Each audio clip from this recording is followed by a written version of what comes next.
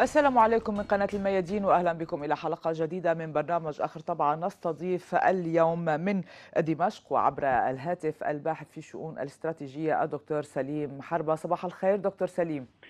صباح الخير أخي الضياء تحياتي لكم وللمشاهدين الكرام أهلا وسهلا بك. يعني أبدأ معك من سوريا دكتور سليم. يعني وتحديدا من عنوان صحيفة البناء اللبنانية التي تقول بأن سوريا توجه رسائلها التركية عبر جبهة الجولان وردع إسرائيل. تحديدا ما بين تركيا وسوريا إلى أين يتجه البعض خصوصا بعد التوغل التركي في الأراضي السورية. يعني دعيني أقول هذا التوصيف صحيح ودقيق لأن الرسائل السورية المركبة من الميدان باتجاه الكيان الإسرائيلي وخاصة بالعملية الاستراتيجية الواسعة التي بدأت ولن تتوقف وما زالت مستمرة وأصابت مجاميع الإرهاب في المنطقة الجنوبية بنكبة حقيقية على المستوى البشري والنفسي والعملياتي وأصابت الكيان الإسرائيلي بشيء من الذعر وبالكثير من الذعر بسقوط أوهامه بما يسمى الجدار العازل أو جيش إسلام جيش لحد الإسلاموي. وبنفس الوقت أيضا العملية التي نفذها الجيش العربي السوري في المنطقة الشمالية في شمال حلب.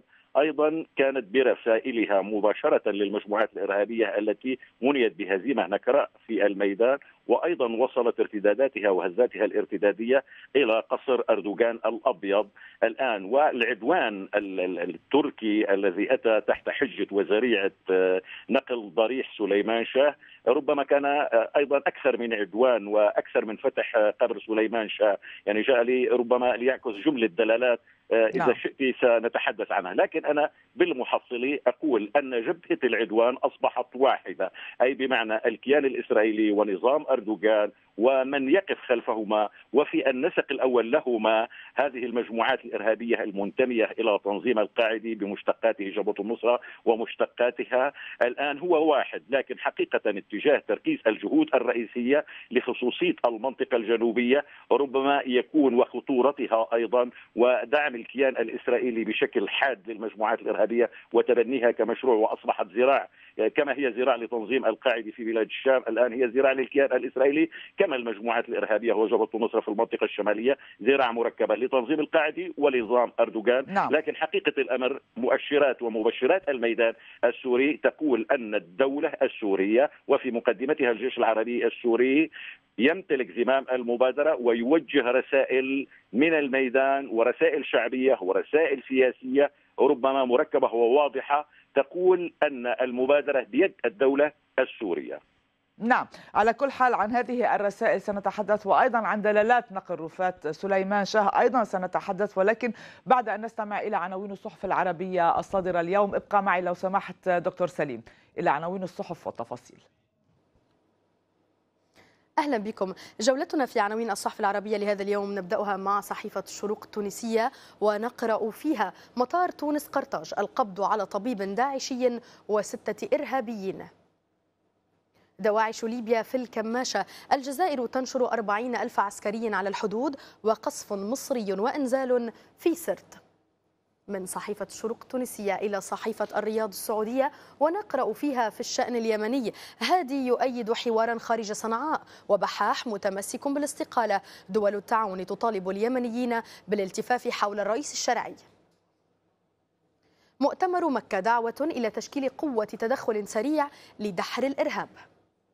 إلى صحيفة البناء اللبنانية وفيها نقرأ في الشأن السوري وفد برلماني فرنسي رفيع يصل إلى دمشق اليوم. سوريا تدعو الأمم المتحدة ومجلس الأمن إلى إدانة العدوان التركي. أوباما يدعو الكونغرس لتمديد حالة الطوارئ في ليبيا. مجلس النواب يعلق مشاركته في جلسات الحوار. وفي صحيفة البناء روسيا تعرض على إيران أنظمة صاروخية متطورة من صحيفة البناء اللبنانية إلى صحيفة الخليج الإماراتية وفيها. التعاون يرحب بخروج هادي ويدعو للالتفاف حوله. الحوثيون يلوحون بعصا المحاكمة لوزراء بحاح ومسيرات في صنعاء. أمريكا تتوعد داعش بهزيمة نهائية. مقتل عشرات الإرهابيين وشارل ديغول تنضم إلى الحرب.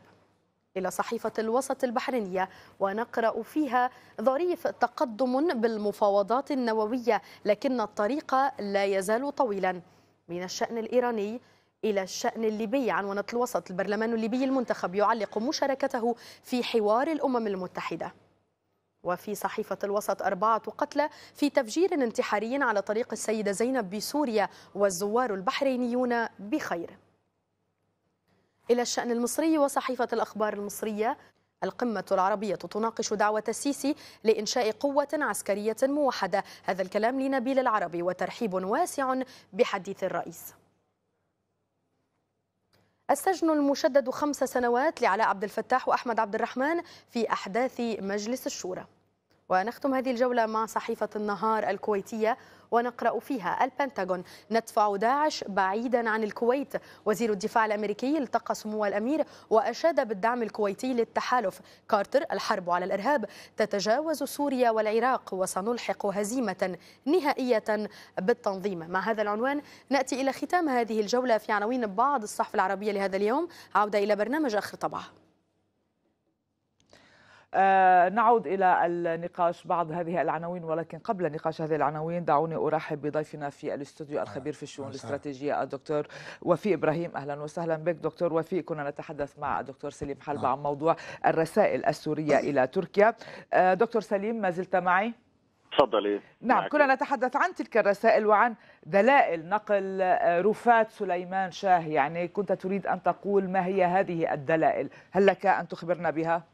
اولا لو سمحتي لي فقط تصحيحا لما ورد في مقالات الصحف لم يحصل أي تفجير في السيدة زينب أو في محيط السيدة زينب عفوا لم يحصل؟ لم يحصل أي؟ لم يحصل أي تفجير أي تفجير نعم. في في محيط السيدة زينب أو في مقامها أو حتى على الطريق الواصل إليها. هذا الخبر عار عن الصحة. خبر آه يعني آه من الذي أطلق هذا الخبر؟ من الذي روج له؟ لا أعرف أي صحيفة. يعني ربما كنت أتابع أو أستمع إلى مقالات الصحف لكن لا يوجد هذا الخبر عار عن الصحة.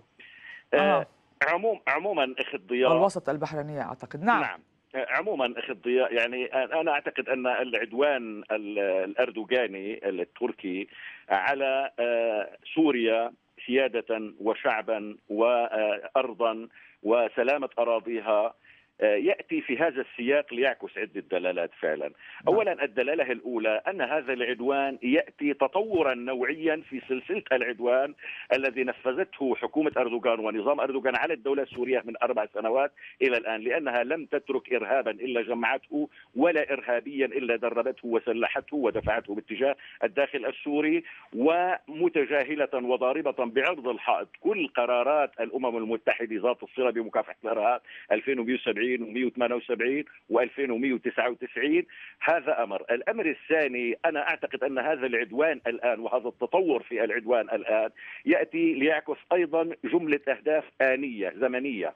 هي اولا أنا أعتقد من وجهة نظري الشخصية أن هناك حالة طلاق نسبي ولو إعلامي بين داعش وبين نظام أردوغان لعدة أسباب، السبب الأول أن مؤشرات الهزيمة الاستراتيجية لداعش ومشروعها بدأت واضحة تماما. أي بمعنى التقط أردوغان اللحظة بهزيمة داعش وبدء التخلي عنها. وبنفس الوقت أيضا آه تقديم أوراق اعتماد للولايات المتحدة الأمريكية وشهادة حسن سلوك بأنه لا يدعم داعش علما أن داعش هي صنيعة نظام أردوغان بالتعاون نعم. مع المخابرات الأمريكية. ولكن هو يعني خوفا عذرا على المقاطعة دكتور سليم ولكن هو خوفا على هذه الرفات من داعش يعني هو يخاف كما هناك بعض التصاريح تقول خوفا من داعش على هذه الرفات نقلها لتكون في مكان أكثر امنا.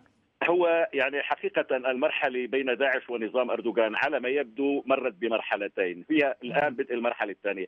المرحلة الأولى هي مرحلة التبني والدعم لداعش. لكن على ما يبدو عندما بدأت هزيمة داعش الحقيقية بدأت مرحلة بداية التخلي لأن نعم. داعش هي التي كانت تحمي هذا الضريح على مدى أكثر من سنتين ونصف وداعش يعني أصبح واضحا أنها قتلت السوريين والعراقيين واللبنانيين المسيحيين والمسلمين والأكراد والأزيديين والأرمن. جميع الناس. والأمريكان واليابانيين والأردنيين لكنها أطلقت القنصليه التركية بربطات العنق ولم تمسسهم بسوء ولا بكلمة. الأمر الثاني أنها فجرت ودمرت المسجد الأموي في حلب. كل الأضرحة للأولياء يعني ضريح ويس القرني عمار بن ياسر وهم صحابة رسول الله في الرقة وحجر بن عدي في آه، عدرا والإمام النووي في نوى لكنها لم تلامس هذا الضريح بسوء وهي التي كانت تحميه إضافة إلى ذلك أنا أعتقد الآن على ما يبدو أردوغان يريد سحب الزرائع من يد داعش لماذا؟ أنا أعتقد هنا أن هناك سيكون ربما ردة فعل من داعش لأن أردوغان انقض على الاتفاق بينه وبين داعش و سيجد نفسه ربما مشتركا في إطار التحالف الأمريكي في مواجهة داعش، لكن هنا أنا أقول هذا ليس تبدلا استراتيجيا هو تبدلا يعني بمعنى هروبا إلى الأمام، أي بمعنى؟ هو إذا ترك داعش واحد التي نواجهها الآن داعش نعم. المؤجلة المعجلة التي يسميها معجلة هو حقيقة يدعم ويتبنى داعش المؤجلة أو داعش رقم اثنين، يعني بمعنى جبهة النصرة ومشتقاتها ما يسمى الجبهة الإسلامية والجبهة الشامية وحركة المهاجرين والأنصار في ريف حلب. آه، لأن آه، قوات أردوغان وقطعان أردوغان التي تحركت على أثر عملية الجيش العربي السوري ربما أرادت أيضا أن توجه رسالة أن سقوط حلب بيد الدولة السورية أو سيطرة الدولة السورية على حلب هو ممنوع. الأهم من ذلك أن هذه الآليات التي تحركت أيضا باتجاه آه، ضريح سليمان شاه نعم. كانت أكثر من 100 الي و39 دبابة و572 من الجنود الأتراك، هذه عمليا كانت بمثابة فتح جبهة من جرابلس إلى إعزاز بنفس التوقيت التي كانت تتحرك فيه المجموعات الإرهابية برعاية اردوغان وأيضا باشتراك قوات تركيا باتجاه الجبهة باتجاه حريتين وباتجاه ريتيان طيب هذا التحرك بالتزامن يعني ماذا يعني ماذا فعلوا في الداخل؟ اولا لإشغال القوات السورية على كامل هذه نعم. الجبهة، نعم. ثانيا هناك معلومات تؤكد أن 50% من هذه الآليات التي دخلت تحت حجة وزريعة نقل هذا الضريح توجهت إلى المناطق التي نعم. تسيطر عليها المجموعات الإرهابية ولم تعود إلى تركيا إضافة إلى حمولة كل هذه العربات أكثر من 100 عربي محمد طيب دكتور سليم وصلت إلى نعم. المجموعات الإرهابية إذا هذا كان شكل من نعم. أشكال البروفا والبروباغندا إضافة إلى طيب دعني فقط دكتور سليم دكتور سليم دعني فقط يعني آه، آه، أسأل الدكتور آه، وفي إبراهيم عن هذا الموضوع تحديدا وعن رأيه في هذا التوغل التركي وهذه الرسائل السورية باتجاه تركيا. دكتور وفي يعني أيضا هذا التوغل التركي ماذا يعني بالنسبة إليك؟ وكيف قرأت هذا التحرك باتجاه نقل رفات سليمان شاه؟ هذا هذا التحرك لا يعني إلا أمر واحد هو منع إعلان وفاة الدور التركي في سوريا. وفاة الدور التركي. منع إعلان وفاة الدور التركي في سوريا. آه. الدور التركي في سوريا له بعدان بعد سوري وبعد كردي. البعد السوري يتعلق بضرب النظام لوضع الإخوان المسلمين في السلطة. البعد الكردي منع إقامة دولة كردية. أما وقد صمد النظام طيلة هذه المدة ويعني بدأ يشن هجمات من ناحية الشمال أصيب الأتراك بنوع من الدوار. فردوا بهذا الشكل المعنوي هذه موضوع معنوي إنه 1000 جندي أو 700 جندي مع 100 آلية يدخلون الأراضي السورية من أجل هدف ليس حقيقي كما قال الدكتور حربة. يعني يعني هذا يدل على أنهم متمسكين بهذا الدور ويخشون من يعني بعد أمريكي للعملية الكردية القائمة بين سوريا والعراق. لما بتعرف أنت 15 مليون كردي في تركيا على مساحة 20% من الأرض.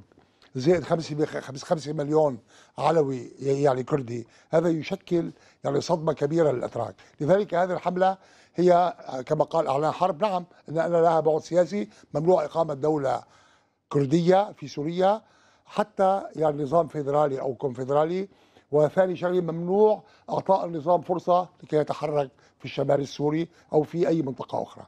لذلك الموضوع له تداعيات إقليمية. لن يستقر على هذا الوضع. بالأمس إيران أصدرت تعليق شبه دبلوماسي قالت أن هذا ليس لهذه العملية مبرر. وهي مقدمة أنا أعتقد لتداعيات يعني قد تحدث. إذا ما أشهر نعم. الأفراد تحديدا هذه التداعيات الإقليمية يعني ما هي هذه التداعيات يعني أنا أين؟ أولا أنت تعرفين أن إيران وتركيا بلدان حدوديان. نعم. متجاوران ولهما علاقات تاريخية دائما تقوم على الصدام.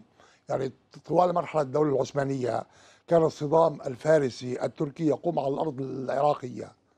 هلا أنا أعتقد أن الموضوع التركي لن يمر بسهولة. إذا لم لم يتمكن الأمريكيين من إيقافهم عند حد معين لن يمر من من ناحية إيران ومن ناحية روسيا. لا لا أعتقد أن القوى الإقليمية والدولية تسمح لتركيا بهذا العبث المجنون. يعني واحد بيعرف إنه دوره سينتهي. يحاول إحياء هذا الدور ولو ولو من طريق الاسترسال في العدوان وإعلان الحروب. لأنه بيعرف نفسه عضو بالناتو بيعرف إنه الناتو ما راح يسمح لروسيا وإيران يتمادوا معه لذلك يقوم بهذه الألعاب. اليوم لا يزال القوات بس أيضا الناتو لن يسمح له أيضا بتخطي الدور المكتوب له أيضا يعني الناتو ولا تاريخيا منذ 1945 لا يسمح لأي أحد بالتعرض من تركيا لأنه تركيا حاجة كانت للناتو. لا أعرف إذا كانت لا تزال اليوم بس بعدها حاجة. يعني تركيا طبعا لا زالت هي حاجة ولكن هذه الحاجة مضبوط يعني مضبوط تحركها. وإلا لماذا لم تقم لا ولا لم تقم مثلا لم يوافق على إقامة آه، منطقة حظر جوي مثلا أو منطقة آه. عازله أو تدخل عسكري في سوريا. أنا أعتقد أن الدور الأمريكي ملتبس. يعني مثلا الأمريكيون يغضون الطرف ساعة يريدون ويمنعون ساعة يريدون. العملية التي حدثت حدثت بموافقة أمريكية. لا يمكن للأتراك أن يقوموا بعملية على هذا المستوى من اختراق أراضي تركيا ليس بشكل غير مباشر أنه من طريق يعني قوات سورية يعني آه، قوات تركية ترتدي الثياب السورية. دخلوا مباشرة يعني هذا إعلان حرب تركيا على الجوار. هلا هذا العمل لا يمكن للأتراك أن يقوموا به؟ بمعزل عن مشا... إذا كانوا استشاروا داعش على الأقل يستشيروا الأمريكيين. يعني أنا أعتقد أن هناك موافقة أمريكية على هذه المسألة. يعني الأمريكيون يبدون من طرف اللسان حلاوة. الا انهم من طرف الآخر مستمرون من مشاريعهم. نعم. طيب آه، دكتور سليم سأختم معك في آه، هذا آه، الهاتف. يعني سأختم معك هذه المداخلة بسؤال عن دعوة الرئيس المصري عبد الفتاح السيسي لتشكيل يعني جبهة عربية لمحاربة داعش وهذه المواقف التي اتخذت منها غربيا وإسرائيليا بين مزدوجين ومعنا فقط يعني ثلاث دقائق حتى الفاصل. تفضل. يعني دعيني أقول أنها دعوة جيدة لكنها متأخرة جدا. يعني ونحن أفضل من ألا تأتي أبدا. أه، تماما. لكن حقيقة يجب أن لا نختزل الإرهاب بداعش. يجب أن نعيد الأمور إلى جذرها. الإرهاب الذي تواجهه مصر هو الذي واجهته سوريا وتواجهه المنطقة، كل هذه الحركات التكفيرية بكل مسمياتها وتجلياتها خرجت من رحم الإخوان المسلمين، الإرهاب الحقيقي خرج من هذا الرحم، لذلك يجب مواجهة الإرهاب التكفيري بكل مسمياته المتطرفة، وأنا أقول أن هذا الحلف ربما أو هذه الدعوة هي حاجة وضرورة استراتيجية حقيقة وقد عبر عنها سماحة السيد عندما قال أن المنطقة الآن تشهد إعادة صياغة بين مشروع التكفير والإرهاب وبين أهل وشعوب هذه المنطقة وعلى وقعها وعلى نتائجها ستصاغ هذه المنطقة ومصيرها ومصير العالم. الآن هذه الدعوة إذا أتت وربما أتت عشرات المرات على لسان سوريا وخاصة بضرورة وأهمية التعاون الاستراتيجي بين سوريا وبين لبنان جيشا وحكومة وبين سوريا والعراق ومع الدول الثلاث وحتى مع الأردن وحتى مع مصر لأن الإرهاب واحد. يعني الغريب أن هذا الإرهاب يعلن توحده في إطار جبهة مهما اختلفت تكتيكاته لكن توحده الإيديولوجيا. ونحن نتعامل مع هذا الإرهاب بشكل متباين. ولكن عندما تضرب رأس هذه المجموعات وهذه اللي هي داعش تتمثل حاليا بداعش التي يتم تمويلها ويتم تدريبها والتعويل عليها في إنشاء يعني هذه تضرب هذه هنا الخطورة كيف؟ كيف؟ هنا الخطورة. من الخطأ أن نتعامل مع ظاهرة واحدة للإرهاب. كل هذه الظواهر إرهابية. يعني بمعنى هناك داعش معجلة يعني ربما اختلفت مع جبهة النصرة على إقامة ما يسمى دولة الخلافة أو الإمارة. لكن جبهة النصرة هي داعش رقم اثنين. الجبهة الإسلامية وكل هذه وجيش الإسلام جبهة النصرة داعش رقم واحد. هم داعش رقم ثلاثة. إذا كل هذه دواعش مؤجلة ومعجلة تصنعها الولايات المتحدة الأمريكية. ولنا أن نتذكر منذ ربما يومين كان هناك لقاء مع ويسلي كلارك الامين العام لحلف الناتو لقاء على السي إن إن عندما قال بالحرف الواحد نعم. أن داعش صناعة أمريكية صنعتها أمريكا لمواجهة حزب الله. لذلك نحن نقول الآن هذه المسميات هي أجيال للقاعدة.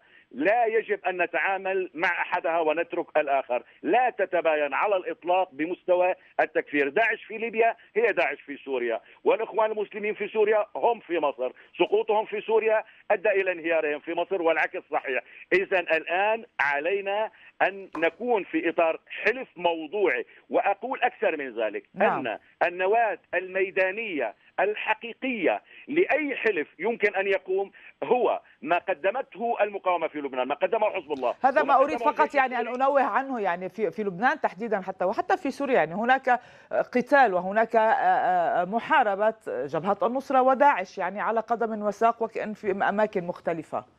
نعم. يعني أنا أقول فعلا يعني ما قطعته وما حققته المقاومة في لبنان حزب الله والجيش العربي السوري والدولة في سوريا والدولة في العراق جيشا وشعبا وعشائرا يجب أن يبنى عليه، لا يمكن لأي حلف يمكن أن يقام بدون أن يرتكز على ما حققته نعم. هذه المنظومة على مستوى الأداء الميداني وعلى نعم. مستوى الأداء الفكري أيضا في مواجهة هذه صحيح وصلت الفكرة دكتور سليم حربة الباحث في الشؤون الاستراتيجية كنت معنا عبر الهاتف من دمشق. شكرا جزيلا على هذه المداخلة وعلى هذه المعلومات التي أفدتنا بها. أعزائي المشاهدين نعود إلى مناقشة ما تبقى لنا من مواضيع في الجزء الثاني من آخر طبعة ولكن بعد الفاصل. ابقوا معنا.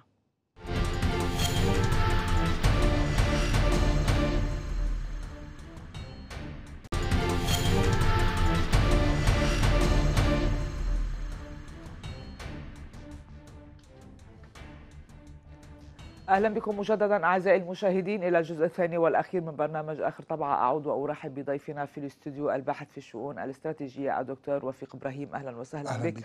دكتور وفيق يعني كنا نتحدث عن موضوع الدعوة التي أطلقها الرئيس المصري عبد الفتاح السيسي كجبهة عربية لقتال ومحاربة داعش والقضاء عليها. كيف تجد هذه الدعوة؟ وهل ممكن تلبية هذه الدعوة وتحقيقها؟ هل هي كما تفضلت أنها بالحد الأدنى معقولة؟ الا انني أعتقد أنها مرتبطة بطلب أوباما رئيس الأمريكي أوباما من الكونغرس تفويضا لمدة ثلاث سنوات بمهاجمة أي هدف للإرهابيين في كل الأرض. أنا هذا التفويض طلبه من الكونغرس الأسبوع الماضي. نعم آه، وأنت تعرفين أن الأمريكيين اشترطوا عليه على أوباما أن لا يقاتل على الأرض بقوات أمريكية أن يقصف من الجو ويقوم بعمليات كوموندو هلا عندما يأتي طلب ال- الر- الرئيس السيسي آه، يعني ب- بعملية تفويض القضاء على الإرهاب. وهو يقصد ربما الإرهاب في ليبيا. الإرهاب في العالم الإسلامي والعربي موضوع معقد. لو بالتاكيد يقصد الإرهاب في يعني بسوريا ما بعتقد ولا مرة حكي هيك. في آه، مصر بعدين الإرهاب له بعد ثقافي. أول مسألة علينا أن نبتدئ بها بتجفيف الثقافة الإرهابية من العالم العربي والإسلامي. هذه خطة خمسية وعشرية قد تكون. أول شيء بنبلش تجفيف المال تجفيف الثقافة الضرب العسكري. إذا ضربنا عسكريا نضرب ماذا؟ الإرهاب موجود لديه مؤسساته لديه مدارسه جامعاته كله موجود. وحتى مصادر التمويل موجودة. أنا أدعوك إلى قراءة صحف الخليج طيلة هذا الشهر. هم مع الإرهاب في الخارج وضد الإرهاب عندهم فقط. يعني لذلك هذا أمر خطير جدا. يعني أنا مثلا الرئيس السيسي أقول له الإرهاب موجود في مصر موجود في ليبيا موجود في سوريا وهو إرهاب واحد. عليه أن يعلن بالتزامن مع هذا الوضع. تحالف مع الجيش السوري لأنه إذا كان الإرهاب بسوريا هو ذاته نفس الإرهاب. موجود في سوريا ومصر. إذا كان صادق النية عليه أن يبتدئ بالتنسيق السياسي مع السوريين ثم ننطلق لمحاربة الإرهاب. هذا الأمر يبدو كخدعة. أنا أقول لك إن اسلوب الرئيس السيسي يعني أنا بشعر كأنه يلتجئ إلى أسلوب المقاولات. يعني لماذا؟ أعطيني بعطيك. يعني مثلا اليوم رجع عمل تصريح يعني ما. هو موضوع المقاولات في أنا هذه سأقول لك لماذا. الخليج الخليج يريد من مصر أن تكون معه إنما ضد إيران فقط. يعني كل الموضوع. هلا هو يحاول أن يبيع مواقف؟ مثلا امبارح قال الخليج هو الذي يسعفنا هو يقدم. ولكن هذا واقع. ويساعدوا بشو؟ مصر تحتاج إلى بناء اقتصاد من جديد لا تحتاج إلى اقتصاد نعم. يقوم على التسول ولكن دكتور دكتور وفيق يعني حضرتك عم تطرح موضوعين طرحت موضوعين بدهم يعني بحاجة إلى وقت طويل. وخطط طويلة موضوع موضوع آه. الإرهاب آه. ال- الثقافه الإرهاب ثقافة الإرهاب نعم. يجب القضاء عليها وهذا طبعا هيدي بدها عملية طويلة عريضة يعني أنا آه، معك، لقلب المناهج. التعليمية آه. والتربوية ولكن هناك خطر على الأرض لا يمكن أن نترك هذا الخطر آه، لنذهب إلى تشفي إلى تغيير. جذري في هذا طبعاً. الموضوع لابد من عمليات سريعة وعلى الأرض أين يعني فورية الارهاب اليوم؟ الإرهاب اليوم بشكل أساسي في العراق وسوريا و- وثالثا مصر. طب أنا كيف يعني أعلن أو أطلب من العالم العربي والإسلامي أن يدعمني في القضاء على الارهاب بمصر وبليبيا وأترك الإرهاب في العراق وسوريا. وهذا يتطلب حسن علاقات بالسياسة يعني طب في العراق هناك جيش يقاتل في سوريا هذا احترام لسيادة الدول لا على القليل يعني يعلن أن الإرهاب الموجود في سوريا هو نفسه الإرهاب الموجود في مصر. هو نفسه الإرهاب الموجود في ليبيا. لغاية اليوم السياسة الخارجية المصرية لا تتكلم عن هذا الموضوع على الإطلاق. لا تتكلم عن الموضوع رغم له حساسية هذا الموضوع في؟ العلاقات يعني؟ ولكن هناك ولكن في في عدو ولكن مشترك هنا بالضبط. ولكن هناك تنسيق يعني وإن ما كان في. خلف الك... هناك تنسيق خلف الكواليس يعني بين الأمن المصري وبين الأمن ما- ما السوري. بدنا أول شيء الجيش السوري والجيش المصري لا يستطيعان أن يتعاونا عسكريا لبعد المسافات والانقطاع الجغرافي علما لا، الجيش السوري هو الجيش الأول طبعاً. يعني ل... ل- الدولة المصرية تستطيع التعاون مع الدولة السورية باتخاذ مواقف على المستوى السياسي، لغاية اليوم هذا الأمر لم يحصل كرما لعيون الخليجيين. ولكن هل. هل بمقدور فقط يعني نحن آه، نسأل هل بمقدور مصر فعلا أن تتخذ هذه المواقف وتستغني عن كل المساعدات يعني هي بحاجة إلى بناء اقتصاد إلى أن تقوم ببناء اقتصادها. يعني هناك من يسعفها في هذا. في هذا الشأن في موضوع أنا الاقتصادي لذلك بدأت معك أن الاقتصاد المصري لا يحتاج إلى عمليات إعانة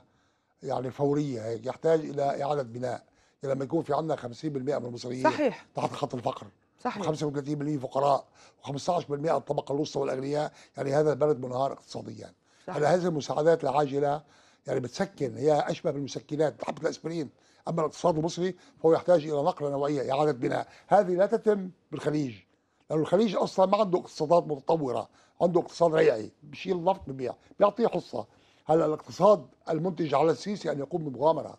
أن يقوم يتكلم مع روسيا مع الصين مع الهند مع إيران مع دول البريكس. يعني هناك خيارات أخرى في العالم. طب زيارة بوتين إلى إلى مصر أليست. مبشرة؟ آه، يعني تحاول روسيا أن تسجل خرقا أن تعود إلى التوسع السوفيتي السابق ال- الذي كان موجودا. يعني لذلك أنا أعتقد أن القيادة المصرية الحالية تستطيع أن توازن في علاقة مع الخليج من جهة ومع الدول المتضرره من الإرهاب في العالم العربي.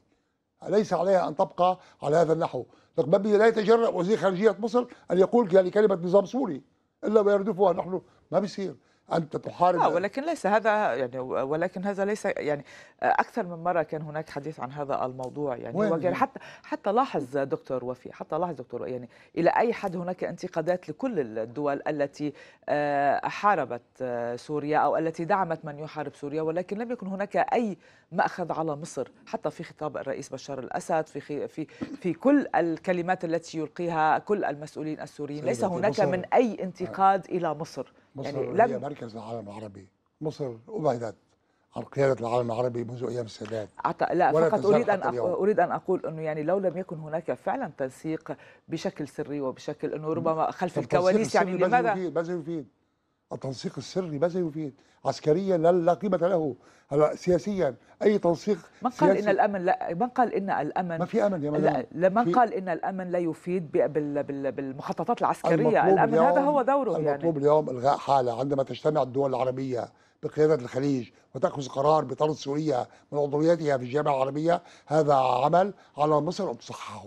هي الدولة القادرة العربي الأمين العام اليوم آه، يعني هو مصري طول عمره الجامعة العربية محايدة بالخلافات العربية إلا في هذه المرحلة. أنا أعتقد جزاما وأجزم أن مصر تستطيع أن تبني سياسة متوازنة وأن تأخذ مساعدات وأموال حتى من الخليج.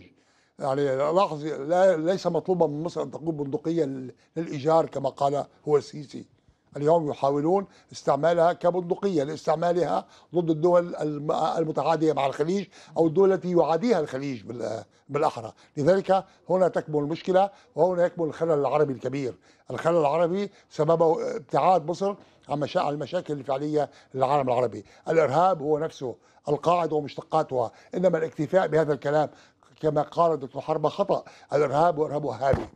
المدرسة الوهابية في العالم التي تقدم قراءة مختلفة عن كل القراءات للإسلام هي التي سببت بهذا الإرهاب. من دون تجفيف مراميعها ومن دون أن نأخذ موقف على مستوى القيادة السياسية المصرية والقيادة الدينية المصرية المتمثلة بالأزهر نعم. سنتحدث عن هذا الموضوع ولكن بعد أن نستمع إلى الحدث اليوم. إلى الحدث اليوم والتفاصيل.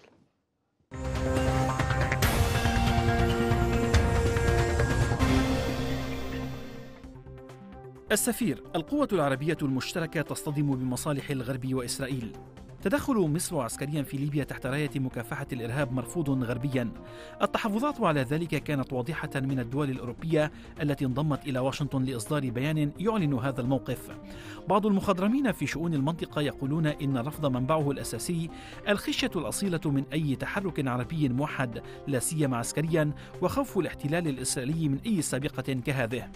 دبلوماسي غربي يقول للصحيفة إن هناك ترقبا لمناخ أفضل يمكن أن ينجم إذا تم التوصل إلى اتفاق حول الملف النووي الإيراني قبل الموعد النهائي في أواخر آذار المقبل. هذا الدبلوماسي عقد جولة مباحثات مع العديد من المسؤولين الإسرائيليين مؤخرا وهو ينقل أن الأولوية الأولى للإسرائيليين هي إيران وحزب الله وثانيا سوريا. وفي النهاية يأتي الوضع الفلسطيني. ويؤكد الدبلوماسي أنه من السذاجة التفكير بأن هندسة التسوية في سوريا يمكن أن تحصل تحصل من دون حساب دقيق للمصالح الإسرائيلية. الرياض السعودية تونس الإرهاب في سوق المزايدات السياسية والإعلامية. أصبحت العمليات الإرهابية التي تستهدف القوات الأمنية العسكرية التونسية مركز تجاذبات ومزايدات بين الأطراف السياسية والإعلامية وتشمل قائمة المستهدفين بهذه الاتهامات العديد من القيادات والشخصيات لكن أكثرها وضوحا بعض القيادات الأمنية العليا في وزارة الداخلية ومنها آمر الحرس الوطني الذي تتهمه أيضا النقابات الأمنية بالانتماء لتنظيم إرهابي وضلوعه بطريقة أو بأخرى في الاغتيالات والتخطيط لاختطاف جهاز أمني وتحويل أطنان من الأدوية إلى منطقة الزنتان في ليبيا وغيرها من التهم بحسب ما أكده رئيس المنظمة التونسية للأمن والمواطن. في عريضة قررت المنظمة رفعها ضد آمر الحرس الوطني إلى الجهات القضائية للمطالبة بفتح تحقيق بتهمة تسهيل ارتكاب جرائم إرهابية. وول ستريت جورنال انقسامات داخل إدارة أوباما بشأن التحالف مع قطر. خلال الولاية الأولى للرئيس الأمريكي باراك أوباما ضغط بعض أعضاء مجلس الأمن القومي لسحب المقاتلات الأمريكية من قاعدة جوية في قطر احتجاجا على دعم الأخيرة للجماعات المسلحة في الشرق الأوسط. لكن مسؤولين أكدوا أن البنتاغون تراجع عن ذلك باعتبار أن القيادة العسكرية الإقليمية التي تحافظ عليها واشنطن في القاعدة تعد أساسية للعمليات في المنطقة. المسألة تقررت أواخر عام 2013 هذا يظهر الانقسامات داخل إدارة إدارة أوباما بشأن التحالف مع قطر. مؤيدو التحالف الأمريكي القطري يقولون إن الدوحة أساسية لمحاربة داعش الضربات الجوية ضد التنظيم تمت غالبا انطلاقا من قاعدة في قطر كما أن القوات الجوية القطرية وفرت الدعم اللوجستي والمراقبة. لكن الإمارة الخليجية منحت أيضا الدعم المالي والدبلوماسي للجماعات المتمردة.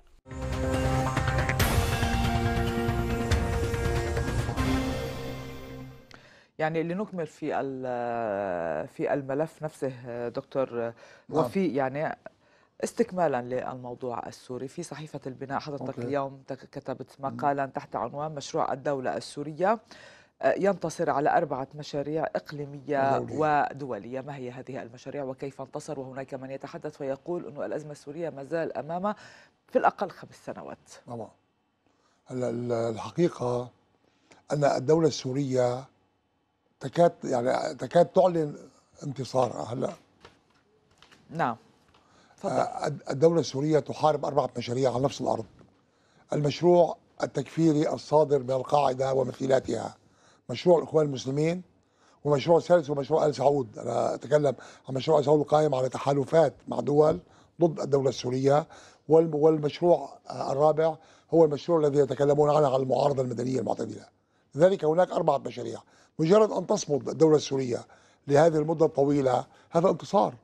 لماذا؟ لأن هناك استحالة إسقاطها. كان المطلوب أن تسقط هذه الدولة بسرعة فإذ بها آه، تبرهن مع تحالفاتها في العالم العربي وتحالفاتها على المستوى الإقليمي والدولي أنها دولة مقتدرة تقدم نموذجا أنا لا أقول أنه كثير تطور لكنه نموذج أفضل من النماذج المقدمة حاليا. يقوم على عروبة عروبة العروبة أولا. اثنين المدنية هناك نظام مدني في سوريا. آه، يعني لا يطالب بإعادة المجتمع إلى 1500 سنة إلى الوراء. يعني يتكلمون عن ثورة سورية. الثورة هي حركة تقدم على مستوى الفكر. بهم يقدمون نماذج اجتماعية وسياسية تعود إلى 1500 سنة على الأقل. لذلك النظام السوري متقدم على كل هذه الطروحات المطروحة حاليا على المستوى السياسي وعلى المستوى المدني. لذلك هذه المشاريع الأربعة هي التي في أزمة ودليل أنهم ينتقلون من إرهاب داعشي إلى إرهاب الإخوان المسلمين إلى إرهاب حتى المجموعات المدنية وصولا إلى ما يطرحونه حاليا حول تدريب مسلحين ينتمون إلى معارضات مدنية هم أنفسهم كانوا في داعش وكانوا في النصرة وكانوا في أحرار الشام وفي مختلف هذه التنظيمات. من هنا أنا أقول أن النظام انتصر في سوريا هناك حوالي 60% من دولة صحراوية. هذا في الصحراء لا يوجد أحد. يعني سوريا المدنية البشرية المسكونة معظمها في يد النظام السوري. وحتى اليوم لا يزال النظام السوري على كل الهجمات التي حدثت لا يزال يؤمن الحد الأدنى متطلبات الناس على مستوى البنية التحتية على مستوى الكهرباء والماء والرواتب وإلى آخره. كلها مؤمنة من هذا النظام الذي يهاجم من كل أنواع البشر.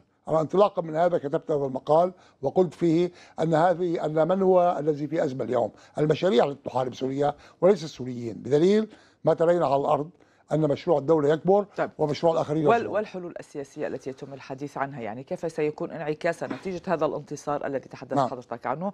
هناك آه لماذا تضطر سوريا للذهاب إلى حل سياسي؟ لا مضطرة. اولا هناك فئة من السوريين قاموا ضد النظام ويطالبون بتطوير هذا النظام. التطوير ضرورة.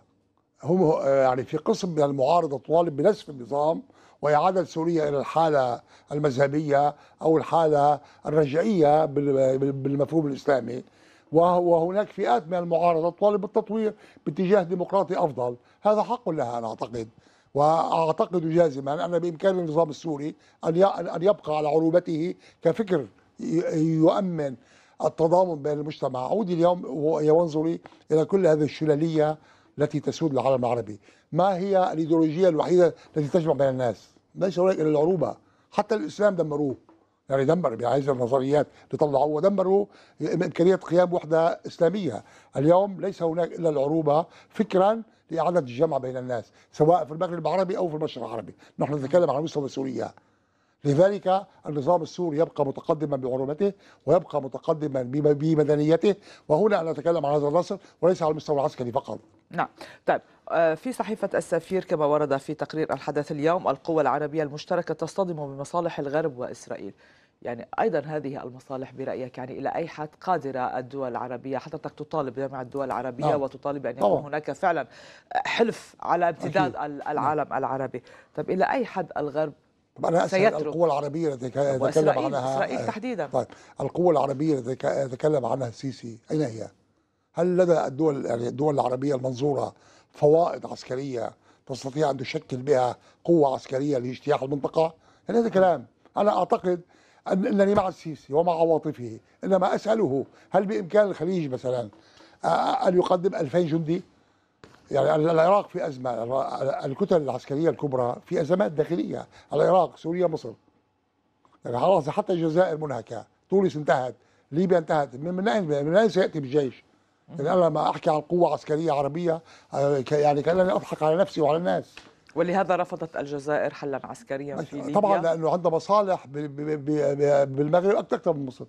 الجزائر بلحاظ كونها كتلة كبيرة في المنطقة لديها مصالح. يعني هلا هلا مصر أنا أعتقد أنها تستطيع أن تقوم بعمل عربي بمعزل عن أي استشارة أمريكية إنما يبدأ بأخذ موقف فعلي من الإرهاب بكل العالم العربي وليس فقط في مصر وليبيا.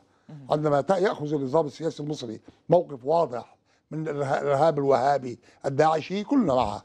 أما هذا الالتباس يجعلنا نشك ب يعني وجهة هذا الط- الطلب المصري. فقط من من هذه الزاوية. طيب آه، أيضا إسرائيل في هذا الموضوع يعني سيكون لها الكلمة أيضا يعني كما لها الكلمة على الحدود الجنوبية ل إسرائيل تسر عندما يتشظى العرب. هذه قاعدة. التصدية تجعلها عضو في العالم العربي. إسرائيل عندما يكون هناك عروبة في وجهها تصبح عروبة وإسرائيل. أما عندما شيعة وسنة ومماليك وإلى آخره تصبح هم أيضا يهود كانوا موجودين في المنطقة في, في يوم من الأيام. لذلك خطورة إسرائيل أنها تستفيد مما يحدث بشكل واضح وهي تشجع عليه وتشارك به إلا أن يعني إس- إسرائيل اليوم تحاول ضرب المشروع الاستراتيجي الخطر الذي يشكل خطرا فعليا عليه هو إيران. يعني لماذا مثلا لا تعادي قطر وتعادي إيران؟ أنا أسألها ببراءة مثلا. لماذا لا تعادي مصر؟ وتعادي إيران؟ نعم. يعني إسرائيل تحدد أين مصدر الخطر إيران والعروبة الموحدة إنها تريد تصدية العالم العربي ولا تريد أي نظام إيراني متطور سواء كان عنده نووي أو ما عنده. لذلك هذا هو المشروع الاسرائيلي في المنطقة العروبة و... وإيران. مثلا ليش إسرائيل ما بتعادي الدول الأخرى؟ هلا حاليا بتعادي شيء شيء دولة عربية؟ لأنها تعرف أن العالم العربي مفكك مفكك على المستوى المذهبي على المستوى الطبقي على المستوى الجهوي. يعني هناك العديد وهذا تحديدا يعني ما ما يتم السؤال عنه. كيف تريد أن يكون هناك جبهة لمحاربة هذه الظواهر الإرهابية؟ يعني هناك تفكك حقيقي مصر. يعني الدواء عند. مصر يا سيدتي. تريد أن تغ... لوحدها مصر أن تقوم ب مصر. بمجرد إعلان سياسي تسقط الجانب السياسي من المشروع. لأنه مصر عندما أرغمت بالدعم الخليجي أو بغيره على أن تجعل الجامعة العربية يعني كل. الدول التي التي تمول الدول العربية معنا فقط دقيقة ونصف يعني سأحاول أن نعم. نختصر قدر الإمكان كل الدول التي تمول آه، آه، الإرهاب وتدرب وتدعم نعم. وترسل يعني ما كيف سيكون الموقف من مصر ومصر منهكة مصر منهكة ولكنها تستطيع أن تخرج من إنهاكها عندما يتأمل لها نظام سياسي يرعى مصالح أبنائها، نحن لا نتكلم بشكل خيالي، نتكلم بشكل فعلي. طبعا بعد كذا سنة ولكن حاليا هناك معاناة من الإرهاب معاناة يعني. أنا بلشنا أن التوازن في السياسة بين الخليج وباقي العالم العربي يعيد هؤلاء الذين يدعمون الإرهاب إلى رشدهم. كيف كانت مثلا العلاقات بين آه، حتى أيام عبد الناصر؟ كان في سوء علاقة بين مصر والخليج إلا أنه بالوقت نفسه كان في نوع من العلاقات الزمن غير العميقة. الزمن حتى دكتور. وفي الزمن غير طبعا الزمن. إنه يعني طبعا إذا أنا بدي اقف ضد الإرهاب والإرهاب موجود في سوريا والعراق ما بحكي معه. شو شو الطريقة هذه؟ أنا أعتقد أن أن الموقف السياسي المصري لن نعم. يكلفها عداء عميقا مع الخليج. تأخذ موقف من هلا اليوم السعودية تدعي أنها معايده للإرهاب، تستطيع سوريا آه، آه، مصر الانطلاق من الموقف السعودي، بتقول أنا كمان معادية للإرهاب في سوريا وفي العراق وفي كل مكان، هذا الإرهاب ينهش العالم العربي، لن يبقي على شيء إذا لم يأخذ العرب موقفا فعليا منه وهم حتى اليوم لم يأخذوا هذا الموقف. للأسف انتهى الوقت دكتور وفيق إبراهيم شكرا جزيلا. على حضورك حضرتك الباحث في الشؤون الاستراتيجية شكراً. ولكم أيضا مشاهدي قناة الميادين شكرا لمتابعتكم وإلى اللقاء صباح الغد